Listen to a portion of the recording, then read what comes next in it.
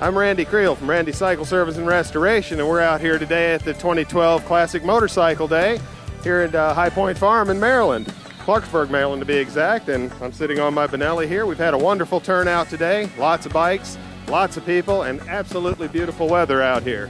We've had everything from Benellis to Royal Enfields to BSAs to Triumphs to Nortons, and we've been enjoying the show all day.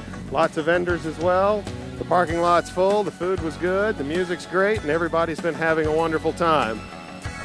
Well, out here today, we saw quite a lot of uh, beautiful machines. Uh, of technical interest, uh, the award winner was a BMW powered by a Volkswagen engine, which uh, was quite a creation and a, and a, beautiful one at that. Uh, we had a couple of wonderful Rickman customs out here as well, uh, and we just had just again a wide variety of machines.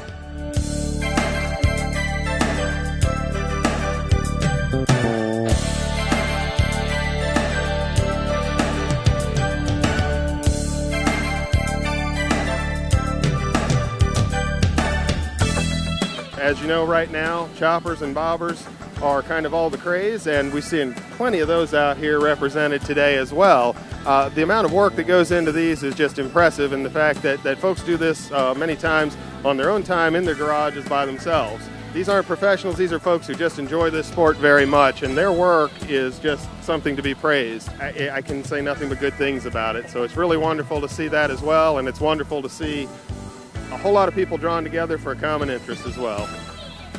What I'm sitting on right here right now is my own personal little bike. Uh, this is actually a Benelli, which was sold through Montgomery Ward's under the Riverside name.